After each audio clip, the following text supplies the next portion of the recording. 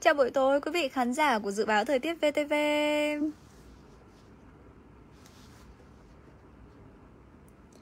Bây giờ là 19 giờ 4 phút, Ngày thứ sáu. Không biết là quý vị đang làm gì ạ? Ngày mai thôi thì chúng ta sẽ bước vào ngày cuối tuần rồi.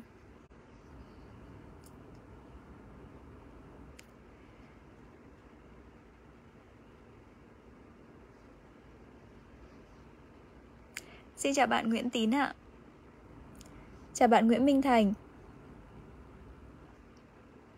Quý vị ơi, ngày hôm nay hãy à, cùng nán lại với Minh Phương một chút trong buổi tối livestream này. Và như thường lệ thì chúng ta sẽ cùng cập nhật những thông tin thời tiết đáng chú ý về tình hình cả nước của chúng ta trong ngày mai. Và sau đó thì Minh Phương sẽ tương tác trả lời những câu hỏi mà quý vị đặt ra để chúng ta có thể thảo luận về thời tiết những nơi mà quý vị đang sinh sống nhạ. Hy vọng rằng Minh Phương ờ, sẽ nhận được ờ, sự tương tác nhiệt tình từ quý vị và chúng ta sẽ có được những thông tin thật bổ ích trong buổi tối livestream này ạ.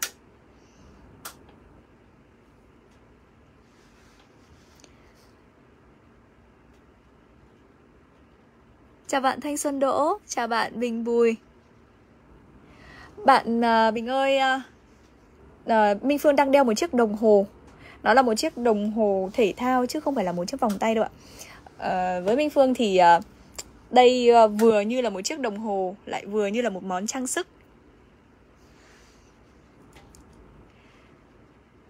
Chào bạn Vũ Minh Diệp,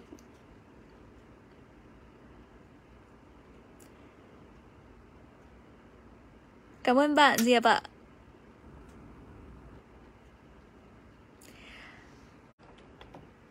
Và bây giờ thì chúng ta sẽ cùng cập nhật những thông tin thời tiết mới nhất nhờ đáng lưu tâm nhất để quý vị có những lịch trình hợp lý, sắp xếp thật hợp lý trong ngày mai quý vị nhé. Uh, như quý vị uh, nếu mà quý vị đang sinh sống tại Bắc Bộ thì có thể thấy là ngày hôm nay chúng ta vẫn phải trải qua tình trạng là mưa phùn um, đi kèm với cả sương mù nữa. Và tối nay thì vẫn thế thôi nhưng mà bắt đầu từ đêm nay thì uh, hình thể gây mưa sẽ không còn là gió đông nam nữa mà do sóng lạnh di chuyển xuống kết hợp với vùng hội tụ gió trên cao 1.500m vậy nên là mưa rông sẽ xuất hiện ở Bắc Bộ và sau khi đó thì sẽ lan xuống khu vực từ Thanh Hóa tới Thừa Thiên Huế. Lượng mưa sẽ phổ biến từ ờ, 15 tới 30 mm, có nơi mưa to thậm chí còn trên 70 mm cơ ạ. Mưa to cục bộ có thể gây ngập úng tại các vùng trũng thấp, vậy nên là quý vị lại càng phải để ý hơn. Bên cạnh ờ, đó thì ờ, trong cơn mưa rông có khả năng sẽ xảy ra những tình những uh, tình trạng thời tiết cực đoan như là lốc, xét, gió giật mạnh hoặc thậm chí còn có cả mưa đá nữa. Uh, Do tính chất mưa chuyển sang mưa rào nên là sẽ không kéo dài lâu đâu ạ. Dự báo là ở miền Bắc trong đó có thủ đô Hà Nội của chúng ta thì mưa sẽ duy trì đến khoảng đầu giờ chiều mai. Bắt đầu sau từ ờ, 14 giờ thì trời có thể tạnh mưa, không khí cũng bớt ẩm do là gió đông bắc thổi về. À, ở Nam Bộ, ngày mai ờ, quý vị cũng cần lưu ý là mưa rông sẽ xảy ra ở nhiều tỉnh thành. Trong đó, vùng dễ có mưa vừa, mưa to tập trung nhiều ở khu vực miền Đông uh, ven biên giới của miền Tây từ Tiền Giang tới Kiên Giang. Nguy cơ trong cơn rông thì sẽ kèm theo tố lốc, sấm sét, thậm chí là cả mưa đá nữa.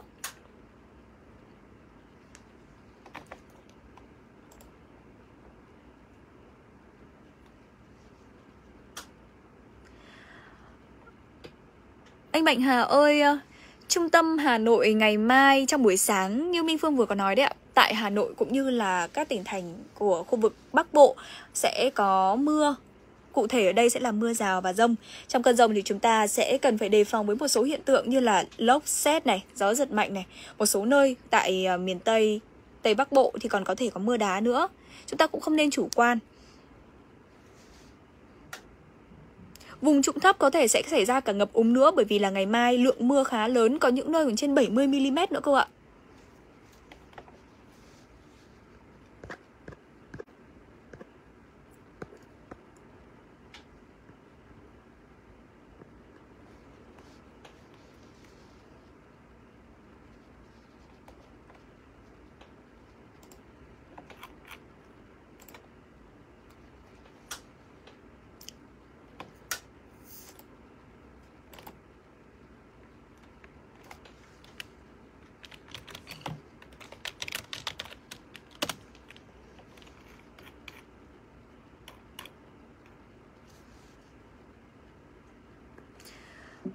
Ờ, bạn Đức Huy ơi với phủ lý ngày mai cũng sẽ có mưa. Cụ thể ở đây sẽ là mưa rào và rông. Mức nhiệt ở phủ lý ngày mai sẽ là từ 23 đến 25 độ. Mưa sẽ càng khiến cho chúng ta cảm thấy lạnh lạnh hơn.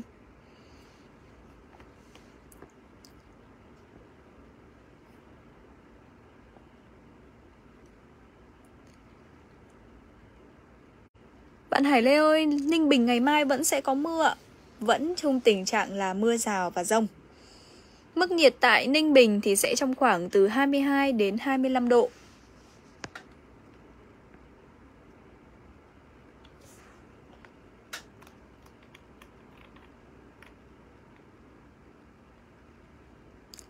Và độ hữu thức ơi, à, với Thanh Hóa thì từ gần sang ngày mai thì sẽ có mưa vừa và rông với mức nhiệt là 25 đến 26 độ.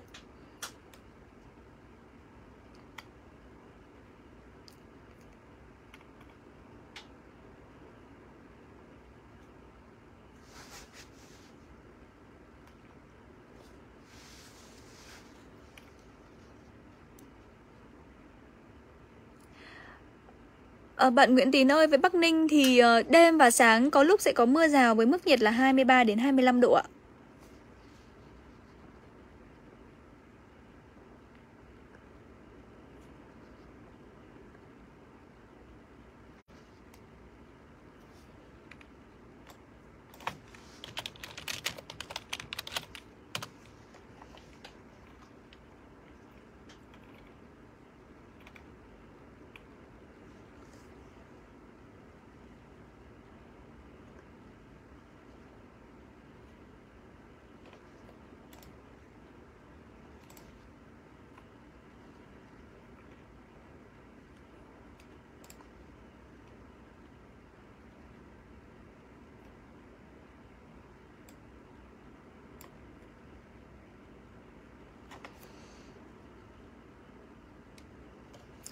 Bạn à, bá Trung Nguyễn ơi ở Với cái nắng của miền Bắc Thì à, khả năng dự báo là phải tới thứ ba thì nắng mới xuất hiện trở lại và kéo theo đó thì nhiệt độ cũng sẽ tăng lên, trời lại quay trở lại oi nóng với mức nhiệt là 31 đến 33 độ ạ.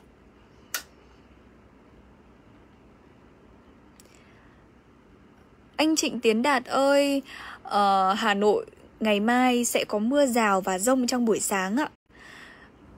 Khi mà chúng ta nhắc đến mưa rào và rông thì chắc chắn là lượng mưa là lượng mưa từ mưa vừa cho tới mưa to rồi. Nếu như mà quý vị có lịch trình phải ra ngoài trong buổi sáng ngày mai thì uh, sẽ khá là vất vả khi mà chúng ta tham gia giao thông. Vì uh, mưa như thế này, mưa to vừa khiến cho chúng ta làm giảm tầm nhìn này, lại vừa khiến cho đường xá trơn trượt rất gây bất tiện khi mà chúng ta tham gia giao thông. Có thể kể đến như là tắc đường này, hoặc là chúng ta có thể xảy ra những tình huống không may như chẳng hạn là ngã xe hoặc ừ, nguy hiểm hơn là chúng ta có thể ờ, bị ờ, xảy ra những va chạm không đáng có. Vậy nên là khi tham gia giao thông vào tình trạng thời tiết mưa lớn như thế này thì tốt nhất chúng ta nên đi thật chậm, quan sát thật kỹ để có thể xử lý kịp thời tất cả những tình huống bất ngờ xảy ra. Ngày mai mưa như thế chắc chắn là chúng ta phải mặc áo mưa rồi đúng không ạ? Nếu có thể thì chúng ta hãy mặc những loại áo mưa bộ chứ không không nên, chúng ta không nên mặc những loại áo mưa cánh rơi. Vì nếu như mà chúng ta mặc áo mưa cánh rơi, đồng ý là chúng ta sẽ che chắn và có lẽ là tiện lợi hơn khi chúng ta mặc. Thế nhưng mà mặc áo mưa cánh rơi sẽ khiến hạn chế tầm nhìn của chúng ta, đặc biệt là khi chúng ta ngoảnh lại đằng sau để có thể nhìn được đằng sau của chúng ta có những phương tiện gì, đúng không ạ? Hơn thế nữa là khi mặc áo mưa cánh rơi thì quý vị mà di chuyển gió tạt đầu trước như thế này thì áo mưa rất dễ bị lật tung lên đằng trước. Và cũng có rất là nhiều trường hợp mà khi di chuyển dưới trời mưa mặc áo mưa cánh rơi, gió thổi lên khiến che mất tầm mắt và xảy ra những va chạm rất đáng tiếc xảy ra đấy ạ. Vậy nên nếu có thể, chúng ta hãy mặc những loại áo mưa bộ gọn gàng và đảm bảo an toàn quý vị nhé. Mặc áo mưa thì chúng ta cũng nên có một lưu ý nữa, đấy là uh, đương nhiên chúng ta mặc áo mưa là để ờ, tránh cho quần áo bên trong của chúng ta bị ướt. Thì đồng nghĩa với việc là áo mưa của chúng ta sẽ bị ướt. Khi mà áo mưa bị ướt như thế mà chúng ta lại ngay lập tức gấp gọn và để vào trong cốp thì áo mưa rất dễ bị mùi và ẩm mốc. Vậy nên là một lưu ý nhỏ nữa khi chúng ta mặc áo mưa trong những ngày như thế này đó chính là hãy phơi áo mưa thật khô và sau đó chúng ta mới gấp gọn lại. À, đồng thời thì uh, ngay khi có thể, quý vị hãy giặt áo mưa thật sạch để bỏ, chút bỏ đi những bụi bẩn và mùi hôi còn động lại ở trên áo mưa nhé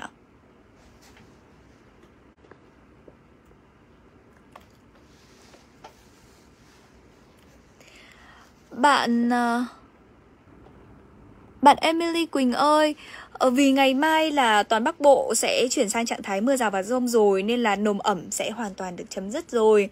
Và trời không còn nồm ẩm nữa, Thế nhưng mà đấy, mưa rào và rông sẽ rất là gây bất tiện cho chúng ta.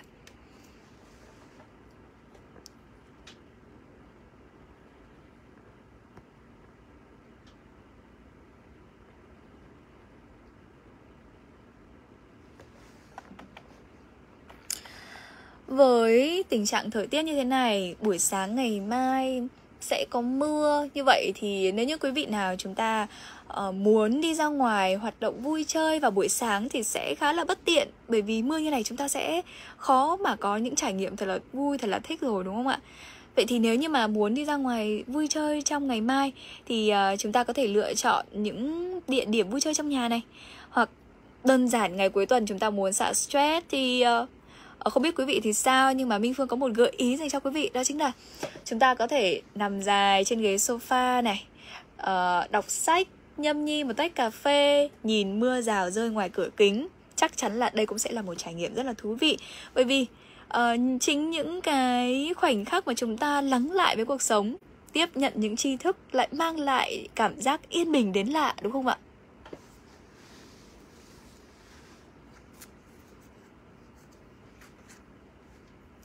Người ta thường nói là uh, tình trạng thời tiết cũng ảnh hưởng tới tâm trạng của con người rất là nhiều. Uh, phương minh phương cũng cảm thấy là uh, với những ngày mưa tâm trạng của mình cũng sẽ hơi trùng xuống một chút. Vậy thì chúng ta cũng ừ, nhưng mà để có một ngày làm việc thật là hiệu quả thì tâm trạng của chúng ta phải luôn thật hứng khởi và luôn thật nhiều năng lượng để hoàn thành công việc thật tốt đúng không ạ? Vậy nên là à, quý vị có thể làm rất là nhiều hoạt động để chúng ta có thể uh, lấy lại mút um, giúp cơ thể của chúng ta thật nhiều năng lượng trở lại. Ví dụ như là nghe một bản nhạc thật là yêu đời chẳng hạn hoặc là chúng ta đọc một cuốn sách đọc những trang sách cũng sẽ giúp chúng ta giải tỏa căng thẳng uh, giúp tinh tâm trạng thoải mái hơn. Và hơn thế nữa chúng ta sẽ tiếp tục trau dồi thêm được vốn kiến thức cho mình đúng không ạ?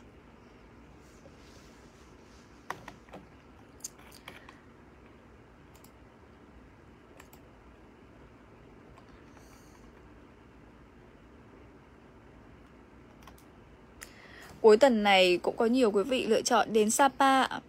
Uhm... Với Sapa thì tiết trời xe lạnh sẽ xuất hiện vào ban ngày, có nắng và tạnh giáo chính là điều kiện lý tưởng để ngắm hoa đỗ quyên.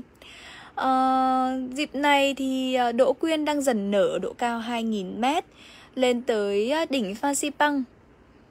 Uhm, nếu mà quý vị có thể sắp xếp đến uh, Sapa để ngắm hoa đỗ quyên nở rộ dịp này cũng rất là tuyệt vời. Ở trên uh, Sapa thì rất đặc biệt với hoa đỗ quyên đỏ hay còn gọi là đỗ quyên quang trụ.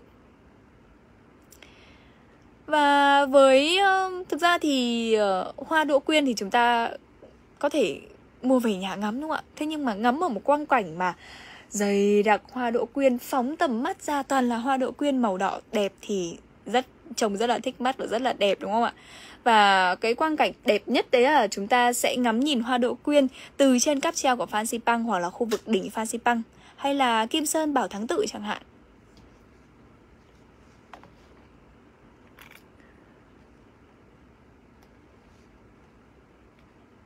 Đà Nẵng thì sao ạ?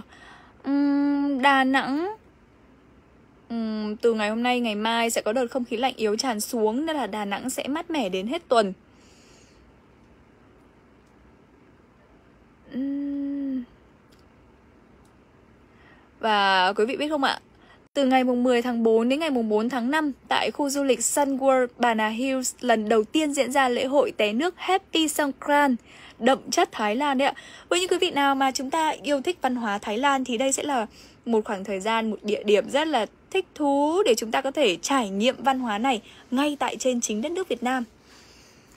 À, đây là một nghi lễ truyền thống đón năm mới được chào đón nhất trong năm của người dân xứ sở Chùa Vàng. Đặc biệt là trong ngày 13 đến ngày 15 tháng 4 từ 15 đến 18 giờ tại quảng trường Dudom, quảng trường hội tụ ở ờ, khu du lịch thì sẽ du khách sẽ được tham gia vào một lễ hội té nước.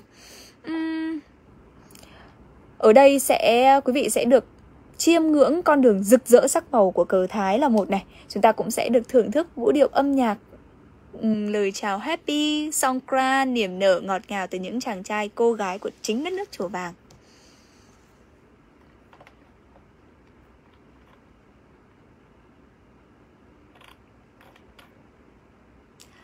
Rồi, bây giờ cũng đã là 19 giờ 20 phút rồi.